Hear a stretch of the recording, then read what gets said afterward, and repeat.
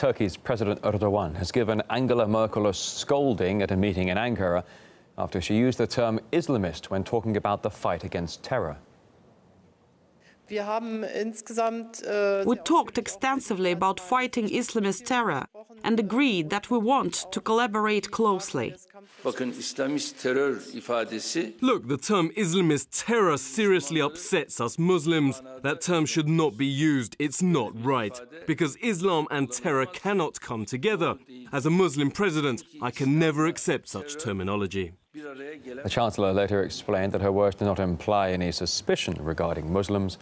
The tone of the meeting, though, was chilly throughout. In fact, if you have a look, you'll see the two hardly at any point saw eye to eye.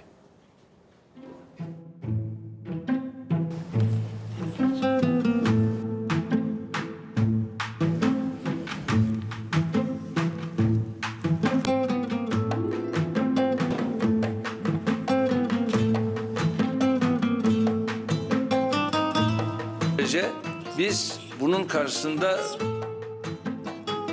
durmak durumundayız.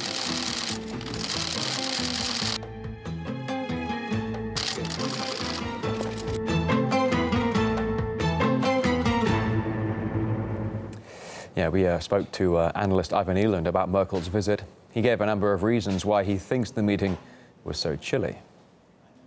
I think they're trying to repair relationships, and the and the the uh, the meeting didn't go very well, from what I'm able to uh, perceive. But you know. Uh, Merkel has taken in a lot of refugees, and Turkey is vital to preventing more refugees uh, from coming. And Merkel is in big electoral trouble in Germany because she took so many uh, Syrian and other refugees in. So I think she probably wants to make sure that Turkey is still holding against the, re the refugees coming uh, into Europe. As long as you have the potential for refugees coming into Europe from the Syrian conflict, there, there's liable to be tensions between uh, all European countries, but particularly Germany, which is the leader, and Turkey. And also, of course, you had this crackdown on uh, the coup by Erdogan. And of course, the Germans and the other Europeans don't really care for that because they're democratic countries.